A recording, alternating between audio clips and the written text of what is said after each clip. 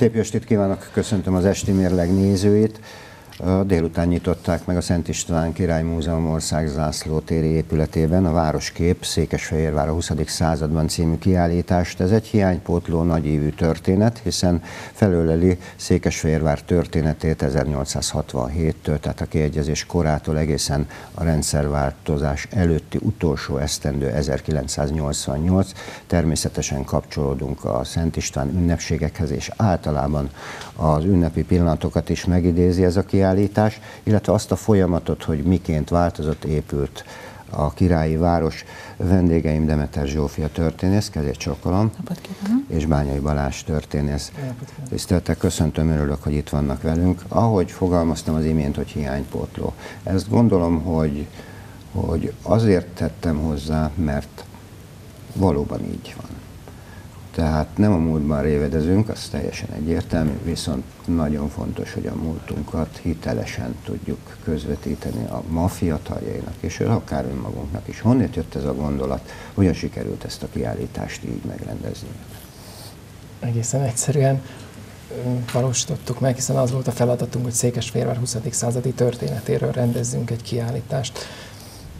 Ez azért nagyon tág, úgyhogy végig kellett gondolnunk, hogy egyrészt mi az a téma, amire a közönség vevő lehet, mi az a forrásanyag, amit képesek vagyunk feldolgozni, és mi az, amit érdemes kiállítani a rendelkezésünkre álló műtárgyakból is, mindezt igazítva ahhoz a térhez, amit az Országzászló téri múzeumi kiállító térre a második emeleten biztosít a részünkre. Ezt mindent végig gondolva úgy gondoltuk ki, hogy a városkép átalakítását állítjuk a kiállítás középpontjába, és ezen a vonalon végigkövetjük a város történetét a dualizmus korszakától 1988-ig. Tehát itt egy kis ö, pontosítást kell, hogy tegyünk, hiszen kellett találnunk egy olyan határvonalat a város történelmében, ami így még érdemes elmenni, és ami után már talán nem fontos ezt a kiállítást továbbvinni. Így találtuk meg ezt a 88 Ezek fajsúlyos dátumok a dualizmus kora, az első esztendők, az feltétlenül.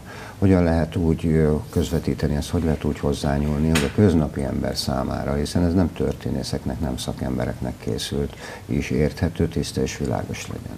Igen, ez nagyon nehéz feladat, ezt kicsit utána az eseményeknek elmondhatom megkönnyítettük a saját helyzetünket azzal, és reméljük, hogy a látogatókét is, hogy két nagy szálat építettünk fel. Az egyik a már emlegetett városkép átalakulása. Ezt nyilván legjobban leg, a belvároson tudtuk érzékeltetni. Sok mindent felhasználtunk hozzá, ha lehet, majd a technikai eszközökről még beszélünk a másik szál, ami azt gondolom, hogy lényeges és látványos is a közönség szempontjából is, és a, a város önbecsülése szempontjából is, hogy a nagy ünnepségekre építettünk. Tehát milleniumi ünnepségekkel kezdjük, utána Természetesen beszélünk a történelem folyása kapcsán a 1930-as Szent Imre évről, aztán az 1938-as Szent István évről, és a, természetesen a 20. századról szólva nem feledkezhetünk meg Székesfehérvár milleniumáról, tehát az 1972-es ezer éves Fehérvár ünnepről, illetve befejezésként ismét Szent István évként az 1988-asról. Hogy kezdték? Tehát nyilván a, a Millennium 1896 rendkívül fontos és kiemelt esemény volt. Hogy lehet azt közelhozni ennyi idő múltán, hiszen a, ahogy az imént említették, a, ez minden korosztályhoz szól. Igen, ahogy Zsófia említette, 1896-tal kezdjük, és mindegyik ünnepet úgy próbáltuk megfogni, hogy a közönség számára is feldolgozható legyen, és fontos tudni mindegyikről, hogy vagy ezeknek az ünnepi éveknek a kapcsán indultak el nagyobb fejlesztések, beruházások a városban, vagy pedig ezek az ünnepi évek voltak azok, amelyek során, vagy amelyek alatt kidomborodott egy-egy fejlesztési korszak eredménye. 1896 esetében az elsőről van szó, Természetesen is, itt is úgy fogtunk hozzá, megnéztük a levéltári forrásokat, a rendelkezésünkre álló irodalmat, és megpróbáltuk mindezeket úgy tálalni, hogy a közönség is élvezetét lejje benne, másrészt pedig olyan illusztrációkkal szolgálni mellé, amiket eddig nem láttak. Ilyen például mondjuk a milleniumi év kapcsán Székesfehérvár város milleniumi zászlaja, amit magukkal vettek a város, vezet, vittek a város prominensei az 1896-os városi és az ünnepi országos összejövetelek, ünnepségek alkalmával is. És teszik mindezt 21. századi eszközökkel, ami nagyon fontos a fiatalok számára, hiszen egy kicsit beelmélyedni abban, hogy mi történt száz vagy akárhány esztendővel ezelőtt, és és erről kérem Zsófia, hogy beszéljen, hiszen mi már megbeszéltük előtte, nagyon érdekes. Igyekeztünk nagyon érdekesen, és nyolc számítógépes szekciót alakítottunk ki, de azt is úgy, hogy mindegyik más korosztálynak szóljon. Tehát amikor az 1925-ös, illetve egy másik alkalom a másik korszakban az 1947-es várost bemutató tablósort tesszük föl egy gépre, akkor azt valaki megáll, megnézi, nézi egy darabig tovább megy, bizonyára nem, nagyon, nem túlzottan mozgalmas, bizonyára elsősorban a felnőtteket fogja érdekelni. Nagyon érdekes, és és elsőként állítottuk föl egy képeslap nézegető állást, ahol egy gyűjteményről beszélünk, majd erről kérem, hogy Balázs szóljon a gyűjteményről magáról. Tehát itt egy, egy gyűjteményt lehet megnézni.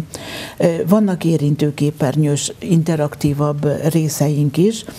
Ezekben építkezünk. Tehát például puzzle ki lehet választani egy-egy homlokzatot, amelyet ma ismerünk így és így, de a 19. század végén, 20. század elején, közepén másként ismertünk, tehát ezeket korszakokat válogatva ki lehet ezeket rakni. Nyilván ez a legifjabb korosztályt fogja elsősorban érdekelni, de, de láttam, én tegnap már játszottak vele a munkatársaim is, úgyhogy remélem, hogy másokat is. A, a, nagyon érdekes animációt készítettünk, természetesen mi csak kitaláltuk, aztán Falvai Miklós megvalósította, szerintem nagyon jól sikerült. Terekről szólunk benne. E, egyrészt olyan terekről, amik ma terek, de nem voltak mindig azok. Tehát az országzászló tér az két utca találkozása volt, a Bartók Pér az két utca e, volt, és még csak találkozni se találkoztak. Ma viszont terekként ismerjük, tehát nagyon érdekes azt feldolgozni, hogy mikor, hogyan nézett ki, mik álltak ott, és mik azok, amik ma nem állnak ott, ma térként látjuk ezeket. A másik vonulat az, amelyek terek voltak, csak éppen közben beépültek. A legérdekesebb ezek közül a vásártér, Fehérvár nagyon híres vásárváros volt, ma is az, logisztikai szerepe ma is az, de ma nem kirakodó vásárokban jelenik ez meg, viszont régen erről volt híres, Fehérvár négy országos vásárt rendezhetett, Mária Terézia engedelméből alakult ki ez a négy, volt egy ötödik lehetőség is, de az nem igazán jött be, tehát hatalmas vásártér volt, ahol a lófutató helytől, ez a sorompónál volt, ma is így hívjuk, a, vásá, a maizi csilliget vonaláig terjedt. Ugye ma ez nem egy üres tér, hanem utcák hálózata, sőt közintézmények vannak ezen. Ennek pedig ezt a vonulatát állítottuk fel, hogy mikor mi épül, hogyan szűkül ez a tér, és visszatérve 38-hoz, ugye azt láttuk már 1938-ban, hogy belaktuk a teret, most már a 38-ban nyílik meg a homoksoron az új vásártér. Tehát ezt az építkezés részt végignézni nagyon érdekes lehet, és el kell azon gondolkozni, hogy hát nem mindig ugyanolyan keretek között éltek a fehérváriak, mint amit ma, mi ma tapasztalunk.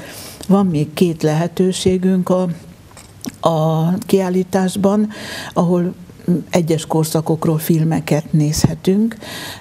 1938 ban már készültek filmek, tehát ott többféle feldolgozást lehet a 38-as eseményekről látni, és Szent István év és az országgyűlés év, az utolsó Fehérvári országgyűlés éve, tehát erről nyilván nagyon jól be tudunk számolni többféle eh, hosszúságban és választható filmekkel, illetve eh, az 1988-as hát már Fehérvári te, Fehérvár televízió által készített egykorú felvételekből készítettünk filmet, nem tudom, ismeri egy bizonyos Vakler Lajos készítette, és most is a, a Fehérvár Média Centrum támogatásával hoztuk végleges formára, és tudjuk vetíteni.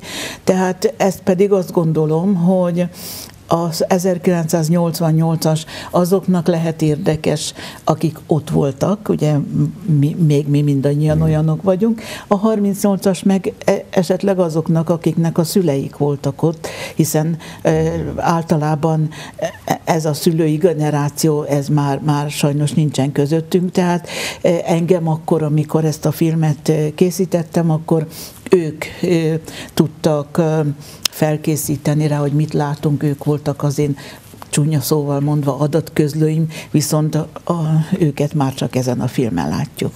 Ez valamennyi időszak sorsfordító volt, és rendkívül izgalmas. A képeslapokon miként jelenik ez meg?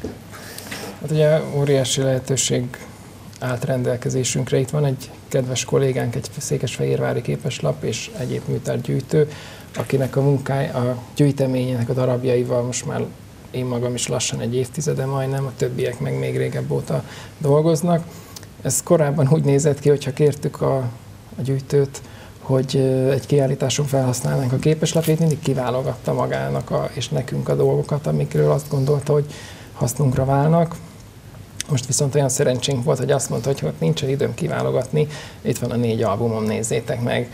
Na most akkor szembesültünk egy olyan csodával, ami azt jelenti, hogy körülbelül 1100 féle Székesfehérvári képeslapról van szó, ez a belvárosnak gyakorlatilag minden szegletét lefedi, és azon túl is mutat.